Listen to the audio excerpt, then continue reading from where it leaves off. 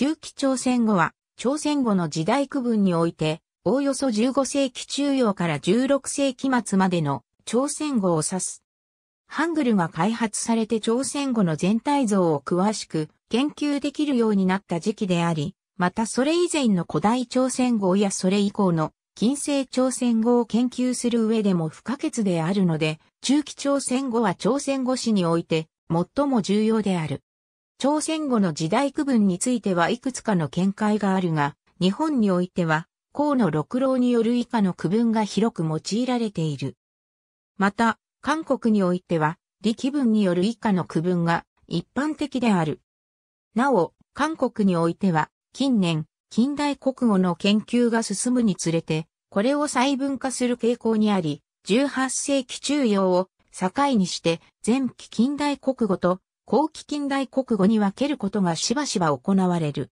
河野六郎の中期朝鮮語と力文の後期中世国語の時代区分はほぼ一致しているが、河野は訓民性音創生をもって中期朝鮮語の始めとしている。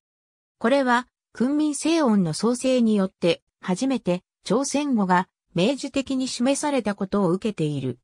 中期朝鮮語の死因体系はおおよそ以下のようなものであったと考えられる。中期朝鮮語の死因の特徴を挙げると以下の通りである。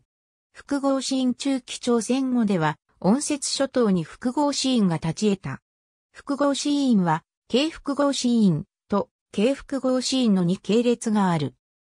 ただし、これらのうちを除く軽複合死因と軽複合死因のうちの2つについては、が、表記通りに S を表したとする説と、が、ノートを表したとする説があり、未だ決着していない。修正中期朝鮮語において修正に立ち得る死因は、の8つである。現代朝鮮語とは異なり、が修正として独自の音歌を有していたのが特徴である。ただし、この修正の音歌については、が表記通りに S を表したとする説と、ノートに類する音であったとする説があり、未だ決着していない。中期朝鮮語の母音体系は、おおよそ以下のようなものであったと考えられる。母音は陽母音と影母音の母音調和の対立があり、体言及び陽言の語形変化の際に母音が交代した。は、中性母音である。二重母音中期朝鮮語には、現代朝鮮語にも存在する上昇二重母音や、JA、IE、J、IO、JO、IU、樹以外に、加工二重母音があった。I、A は現代朝鮮語では、それぞれ単母音、E であるが、中期朝鮮語においてはその文字の構成通りに、I、愛と発音されたとみられる。同様にして、おい、おい、うい、うい、愛、愛、いい、愛が存在した。また、三重母音、いあい、じゃい、いえ、じい、いおい、じょい、いうい、じゅいもあった。中期朝鮮語は日本語に類する肯定アクセントの体系を有しており、音の肯定によって単語の意味を区別し得た。アクセント角は上り角であり、アクセント角以前の網羅は音韻論的に低調、アクセント角以降の網羅は音韻論的に好調である。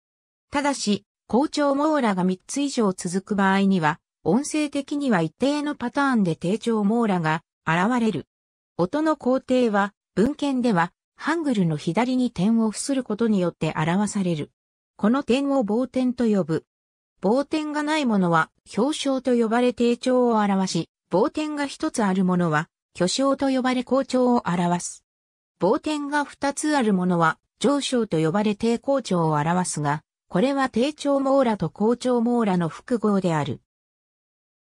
中期朝鮮語のアクセントは、中国音韻学の用語を用い、成長と呼び習わされてきており、韓国の研究者は一般に中期朝鮮語のアクセントと現代朝鮮語の方言におけるアクセントを成長と呼ぶ。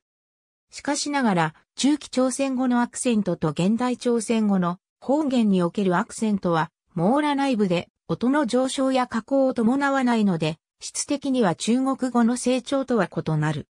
体言語間の交代現代朝鮮語の体言の極用は、体言に語尾が交接することによって表され、中期朝鮮語においても、基本的な要素はこれと同一である。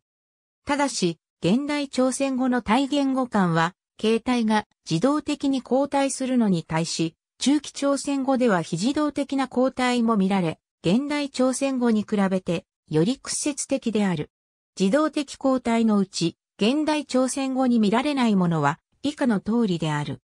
語感の形態が非自動的に交代する体言はに、音節、アクセントがともに、表彰、語感末音が、であるという特徴を持つ。この種の体言では、語尾が交接すると語感末母音が脱落し、語感末に子音が現れる。曲用語尾曲用語尾について特徴的なものを以下に挙げる？用言語間の交代中期朝鮮語の活用体系は現代朝鮮語と基本的に同一である。違いは語根と語尾の間に挿入される媒介母音が中期朝鮮語では母音調和に従い y- という異形態を取るくらいである。しかしながら現代朝鮮語には見られない語感の非自動的交代が見られる。自動的交代のうち、現代朝鮮語と異なる点は以下の通りである。非自動的交代は以下のようなものがある。また、語感に交接する語尾の音韻変化に以下のようなものがある。時制、愛中期朝鮮語は現代朝鮮語とは異なり、時制、層が未文化であり、混然一体とした体系を成している。これらは自創設備時によって表される。なお、自創設備時は口述する敬語の諸設備時や語尾などと組み合わさり、終止型において複雑な形を作る。また、完了を表すものとして、接続形 A、E に動詞、is マイナスが続いた A、E、is マイナスという形がある。この形は融合して AIS、アイスマイナスとしても現れ、さらに I が脱落したアズ、S マイナスという形でも現れる。知っているといった意味を表すが、この形は現代朝鮮語の過去形、マイナスにつながる形である。この変遷は日本語の過去形、だが、手ありから発達したのと同様である。敬語中期朝鮮語の敬語には、尊敬、謙譲、丁寧の3種類がある。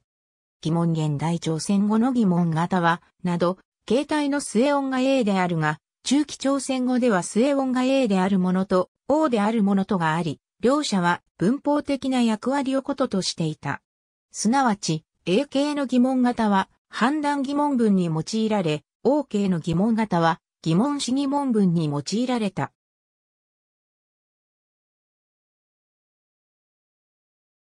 例、H ンが STHCNGO。A 形疑問型と O 形疑問形の区別は、現代朝鮮語の東南方言に残っている。いわゆる、糸法要言語間に O、U- が交接した形は、韓国でしばしば糸法と称される。主に終止型において一人称仕事ともに用いられ、話し手の主観的な意図などを表す形とされる。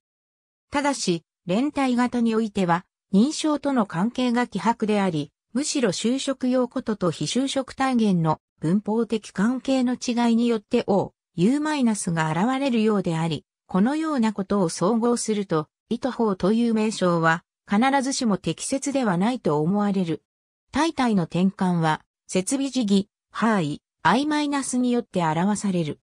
これらの設備時は現代朝鮮語と同様に、体の転換のみならず、自動詞の多動詞化や形容詞の動詞化の際にも用いられる。例、オウムギーオウム、ジャッピジャブ、シエシェン。また、五感につく体転換設備時に y- マイナスがある。例、さあさあ。接続系接続型は現代朝鮮語と同じく非常に多様である。以下に中期朝鮮語に特徴的なものをいくつか例示する。連帯系中期朝鮮語の連帯型は、現代朝鮮語と同様に、N 系と R 系の2系列がある。N 系、R 系ともに、糸方から O、U- を伴え、N 系連帯型はまた自走設備時 N で、ゲ、A、E- を伴いうる。また、中期朝鮮語の連帯型は、体現相当語句としても機能することができ、連帯型に直接核語尾が付き得た。例、H 新郎 H 新郎。同名詞形名詞形あるいは体現型とも称される。同名詞型はオム、有無によって表される。現代朝鮮語と同型の M、YM は、用言派生の体言を作り、両者の機能は異なる。また、一部の語彙には AM、M 型も見られるが、これは生産的なものではなく中期朝鮮語の段階で、すでに化石化していたものと推測される。例、マデムマット。現代朝鮮語において生産的な義は、中期朝鮮語において散見されはするが、生産的ではない。合成語中期朝鮮語の合成語の特徴としては、用言語根に直接他の語根がつく、合成語が広く見られることである。例、オアエヌリオアエヌリ、バーメグビアメグ。中には、用言語根に体言語根がついた例も見られる。例、ブサスダービセクドール。造語設備時造語に関与する設備時には、以下のようなものがある。訓民西音の創生語、ハングルによる書籍が盛んに刊行された。主なジャンルと代表的な文献は以下の通りである。ありがとうございます。